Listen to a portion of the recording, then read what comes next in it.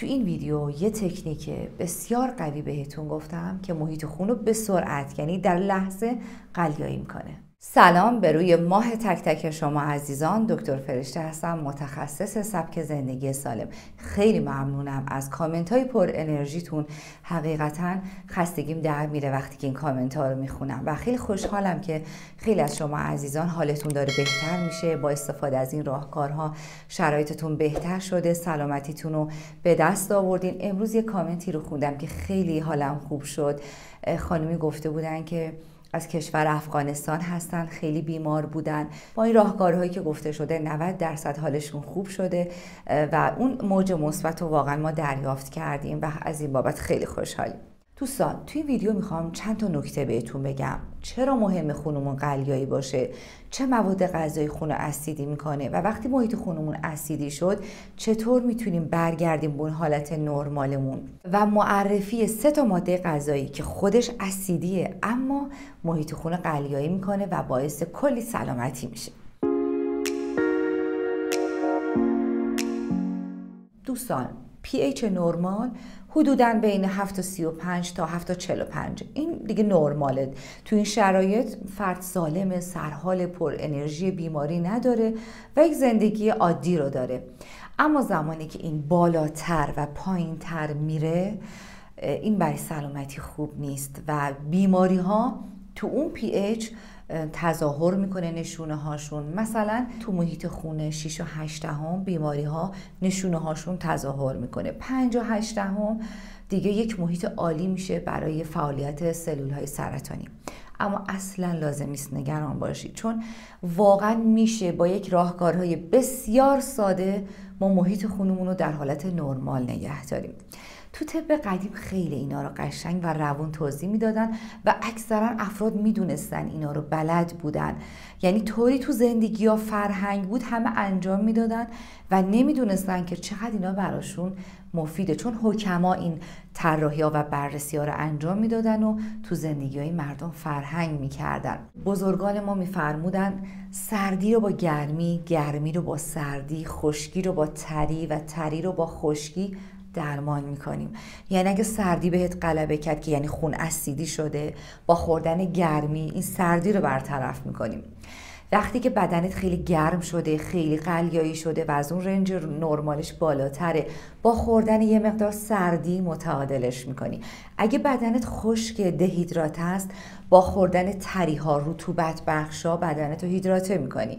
اگه بیش از حد رطوبتی شدی بلغمی شدی می‌تونی با خوردن مواد غذایی قلیایی و گرم و خشک اونو به تعادل برسونی و اینا به خیلی بهشون کمک می‌کرد. مثلا میومدن ماست و با نعنا میخوردن که محیط خونشون اسیدی نشه. مثلا هندونه رو خورما میخوردن بعدش. میوه های سرد مزاج و مثل گوجه سبز با یکم نمک میخوردن. و جالب اینجاست که نمک یکی از اون متعادل کننده های فوق است. منظورم نمک های طبیعی و ارگانیکه. نمک های کاملا طبیعی غذاها رو متعادل می‌کنه. یعنی اون حالت اسیدی و قلیاییش رو تعادل میده. پی رو نرمال می‌کنه.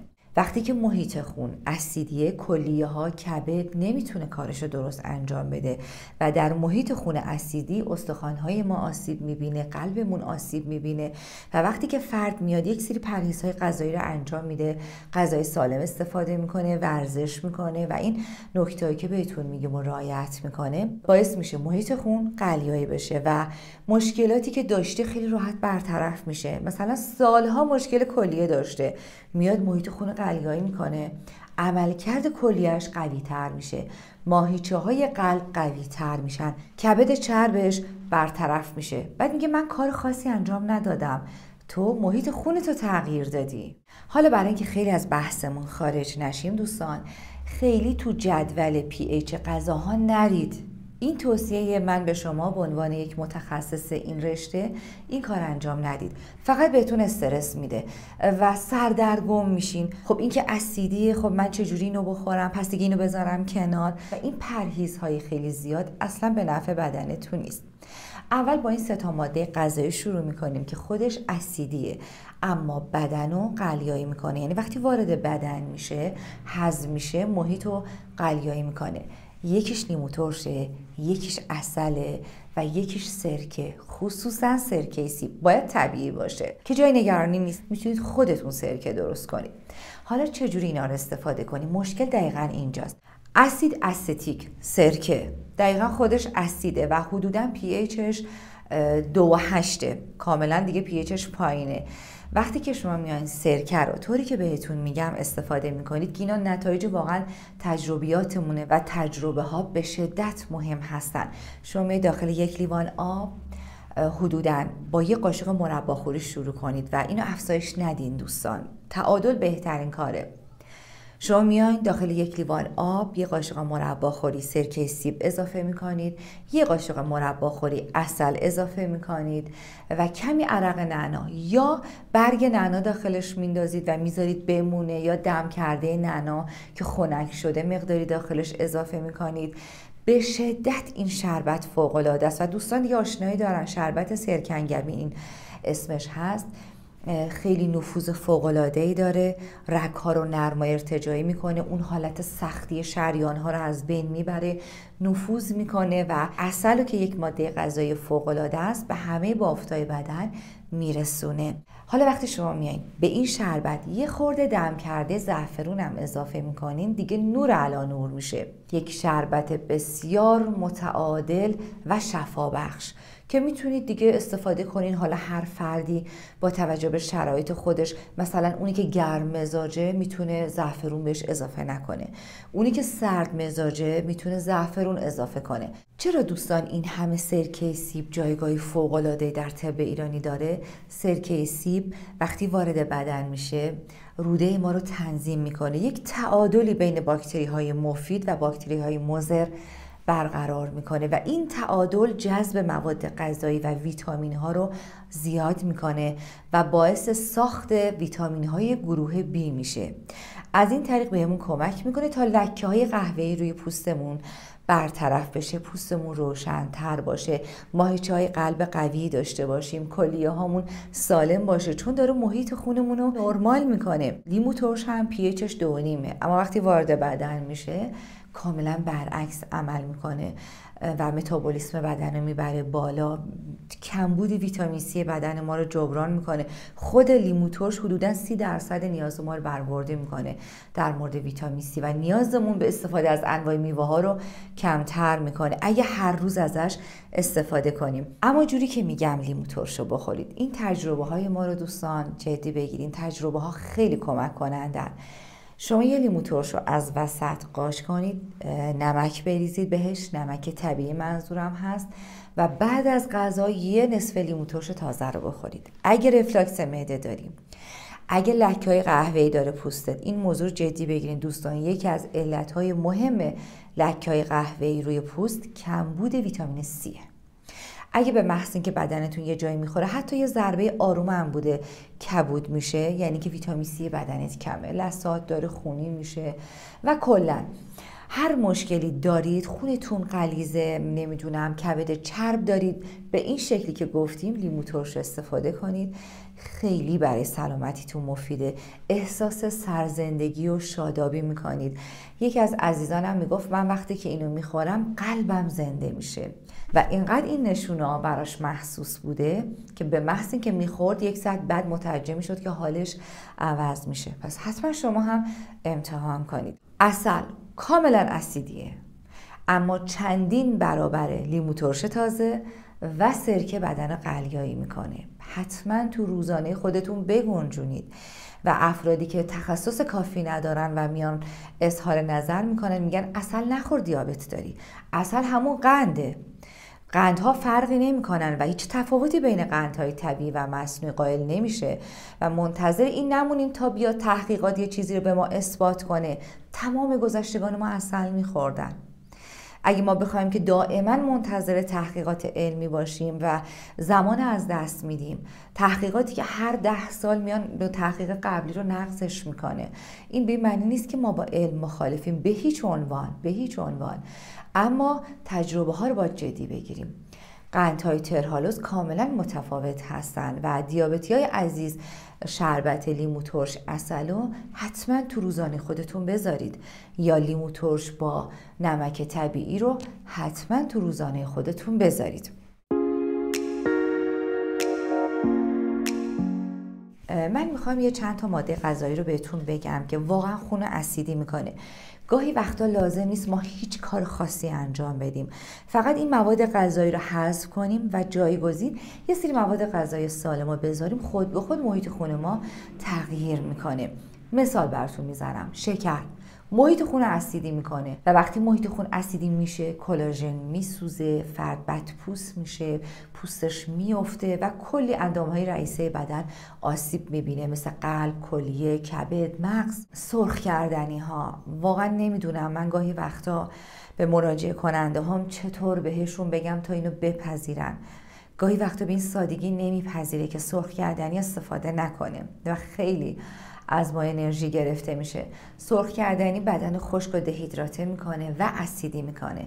اینو امتحان کنید. دو هفته غذای سرخ کردنی رو قطع کنید. فقط دو هفته.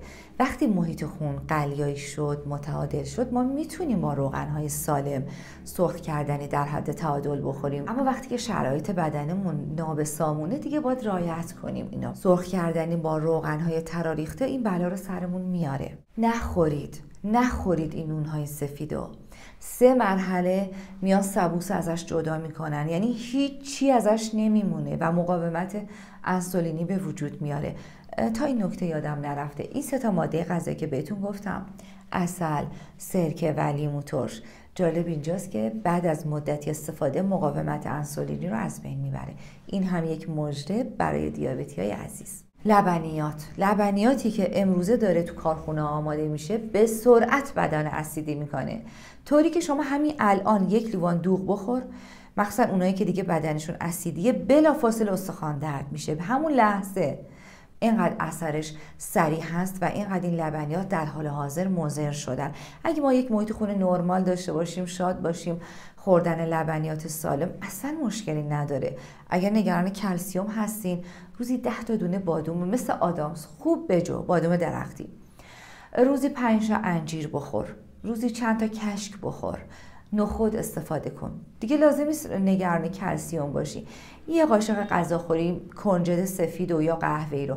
روی 5 6 تا خرما بپاش و اول صبح میل کن یا آخر شب میل کن. کمبود کلسیومت به سرعت از بین میره و اصلا جای نگرانی نداره. برد کسانی می‌کنن که پیاده روی می‌کنن و این جزو روتینشونه. حالا اگه بیایم اینو تو آفتاب ملایم انجام بدیم که دیگه نتیجه صد برابر میشه. اگر نم که دوش آفتاب در هفته چند بار یادتون نره دوستان تا سلامتی داشته باشید. امیدوارم که راهکارا رو انجام بدید. اینجا جاش هست دوستان. این نکته رو بگم. اگه ما بهترین مواد غذایی رو استفاده کنیم تغذیه فوق العاده داشته باشیم و استرس داشته باشیم هرس بخوریم هرس بدیم محیط خونمون اسیدی می‌کنیم و هیچ غذای اندازه استرس بدن اسیدی نمی‌کنه. این از همه چیز مهمتره. پس ارزش رو داره. که رو خودمون کار کنیم انگیزمون رو بالا ببریم تکنیک یاد بگیریم و به خودمون مسلط باشیم تا باعث بشه سالم تر باشیم. زمانی که ما استرس داریم اسید زیادی ترشح میشه و محیط خون اسیدی می‌کنه و بدن ما باید خیلی تلاش کنه. خیلی باید تلاش کنن اندام های رئیسه خصوصا کبد و کلیه تا این محیط اسیدی رو قلیایش کنن هر بار که توی یک شرایط استرس قرار گرفتید و ناراحت بودید تایم زیادی رو ناراحت بودین بلافاصله شروع کنید به غذاهای سالم خوردن که حداقل از این طریق به خودتون کمک کنید. این زمانی خیلی خطرناک میشه که ما استرس داریم و بعد میریم غذای اسیدی می‌خوریم. قبلا اینو بهتون گفتم. من بچه خواهرم. پسر 17 18 ساله بودم. اون موقع همین حدود سن داشتن. بابت یک ضرر مالی خیلی قصه می‌خوره و اینو نمی‌دونسته چطور با پدر مادرش در میون بذاره که ضرر مالی خیلی زیادی به خانواده زده بود. و از این طرف میاد خونه یه غذای نادرست می‌خوره بعد از غذا کلی دوغ استفاده می‌کنه و بعد با همون حالت ناراحتی می‌گیره میخوابه. وقتی صبح بیدار میشه دیگه از کمر به پایین هیچ حرکتی نداشته و فلج شده بود. شیش ماه زمان برد تا تونست به حالت عادی برگرده. چرا شیش ماه تونست به حالت عادی برگرده؟ چون واقعا ما به علت پرداختیم. ممکن بود که اگه از داروهای شیمیایی بخواد استفاده کنه چون علت کاملا مشخص نمیشه. این شرایط بهتر نمی‌شد. اما ما ماساژ براشون تجویز کردیم. ماساژ با روغنهای گرم غذاهای گرم صحبت کردن انرژی دادن از جم تراپی استفاده کردیم و همه اینها بهش کمک کرد تا شش ماهه حالش خوب باشه. این نشون میده که خیلی استرس موثره و وقتی که ما اون موقع میایم غذای سرد استفاده می‌کنیم چندین برابر محیط خون اسیدی میشه. شما استرس داشتی سریع یک دمنوش بهار نارنج درست کن. خودوس بخور. بادرنجبویه که بهترینه. بادوم بخور. های عمیق بکش و سعی کن خودتو آروم کنی تا بدن سریعتر به اون حالت نرمال برگرده. بر همین دوستان بهتون توصیه می‌کنم channel های پروفسور دانش رو حتما دنبال کنید.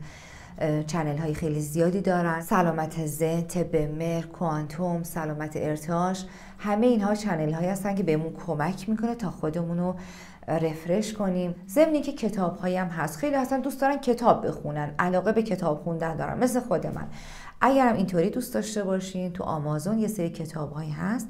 تو این زمینه براتون گذاشتیم. چطور شکرگزاری کنیم قانون جبران رعایت کنیم پلکان ترقی که مرحله به مرحله کمکمون می‌کنه تا از لحاظ روحی روانی آرام باشیم.